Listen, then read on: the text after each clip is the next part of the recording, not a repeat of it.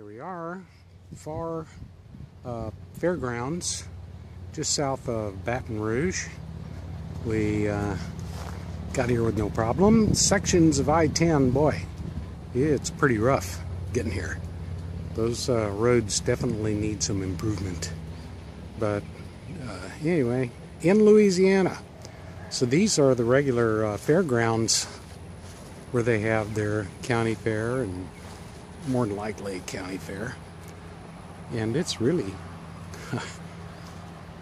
a lot quieter. I'm going to say that because I'm going to take something back I said about uh, the Cajun RV campground we were at the other night.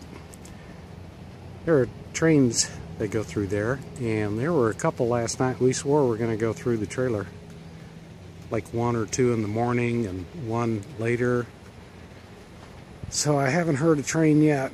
There's only uh, two other people here, so you can see why I didn't have to worry too much about reservations, but they've got a lot of spots here. They've got a lot of spots. And we're on the front row. A, B, C, D, E, F. A lot of, lot of spots. Those are trash cans, by the way. Trash bins.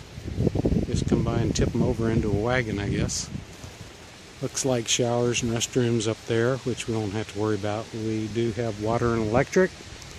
It's $79.80 for two nights. Checks and cash only. There's the fairgrounds over there. There's someone with a horse out that way, walking them.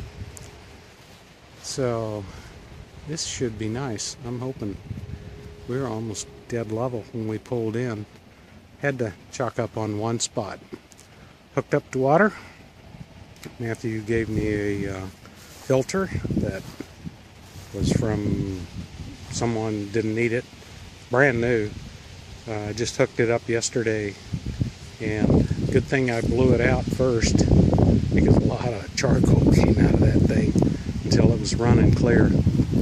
So I'm going to try that for a while someone steals it, at least it's outside, and I got the internal one inside. But it's very pleasant right now. It's about 78, 77 in the uh, camper. Real nice. And we came south of I-10 to get here. And right through residential area, school getting out. It was crazy. It was crazy. But evidently we can just take River Road, which is just um, right out here the way we came. We can take that right on into town, downtown. So I may escape that way too rather than go down that narrow street residential area to get home. So anyway, water and electric, about 80 bucks a day. I booked two nights. If we want to stay another day, we will. And go from there. So a beautiful day today. It was windy almost all the way, but it really is gorgeous. So retraction on that uh, Cajun RV park, I can see why it's a little cheaper. If you stayed there for a while, you probably get used to the, you probably get used to that, those trains, but they're very noisy.